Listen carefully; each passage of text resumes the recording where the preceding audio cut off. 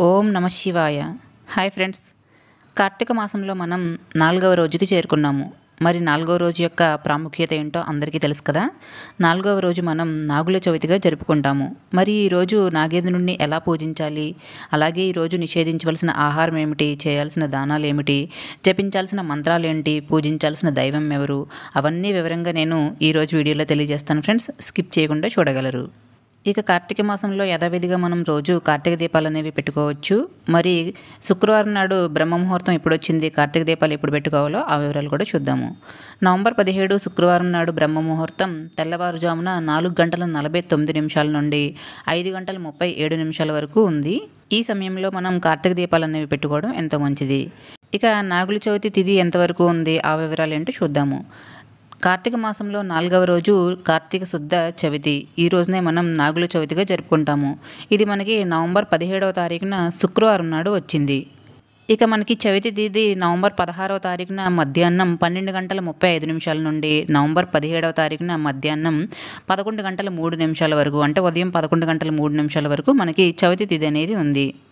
నాగుల చవితి రోజున నాగేంద్రుణ్ణి ఏ విధంగా పూజించాలి? అలాగే పుట్టల్లో పాలు పోయడానికి ముహూర్తం ఎప్పుడు? అలాగే పొట్ట లేనివారు ఇంటి దగ్గరే పూజ చేసుకునేవారు ఎలా చేసుకోవాలి? ఆ వివరాలన్నీ కూడా నేను వేరొక వీడియోలో తెలియజేశాను ఫ్రెండ్స్. ఆ వీడియోస్ కూడా చూడగలరు. లింక్స్ అనేవి డిస్క్రిప్షన్లో ఇస్తాను.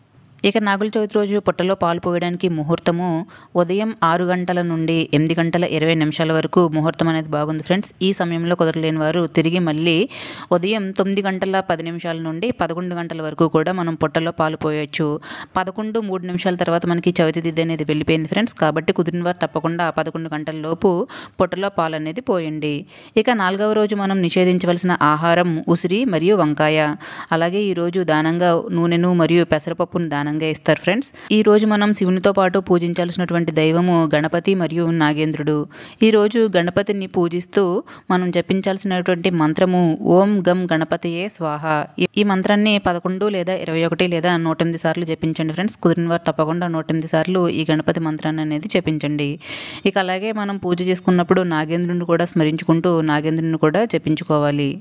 అలాగే ఈరోజు లింగాష్టకాలను శివ అష్టోత్తరాలను చదువుకోవడం ఎంతో మంచిది. ఇక కుదిరిన వారు తప్పకుండా కార్తీక పురాణాన్ని కూడా ఈరోజు చదువుకోండి.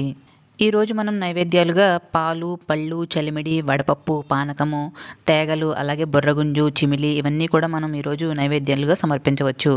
ఈరోజు నాగుల చవితి చేసుకునేవారు ఎక్కువగా చలిమిడి వడపప్పు మరియు బుర్రగుంజు తేగలు చిమిలి వంటి వాటిని నైవేద్యాలుగా సమర్పిస్తారు. అలాగే పుట్టలో పాలు పోయడము గుడ్లు వేయడము ఆనవాయితీ ఉన్నవారు అవి కూడా వేస్తారు.